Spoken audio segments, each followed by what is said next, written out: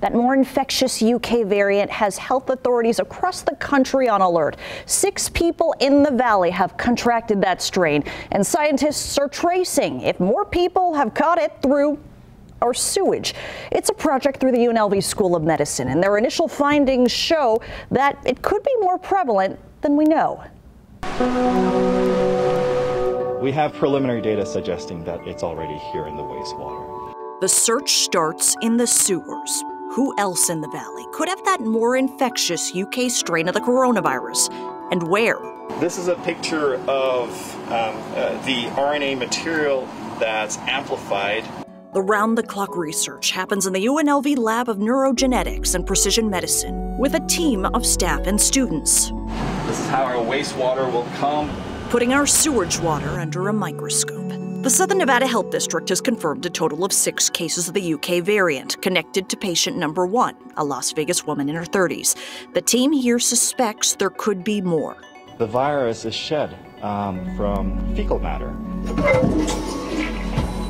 And all of us, uh, as expected, use the, use the bathroom, and therefore, if we're infected, we're going to be shedding the virus into, um, into the sewage. So the wastewater samples have um, predicted that people um, have this variant.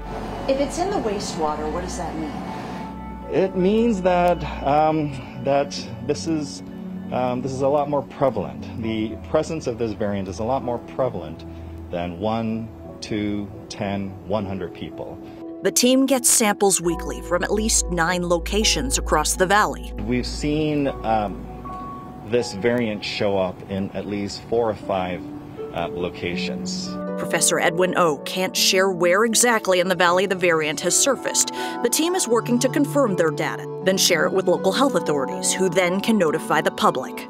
But the reality is, if you see it in um, um, those few numbers, um, chances are it's going to be in a lot more people. And the wastewater um, gives us that opportunity to um, to, to get closer to what that number might be. In the long term, this is a surveillance program. We fully expect um, this virus to mutate, not if this happens, when this happens.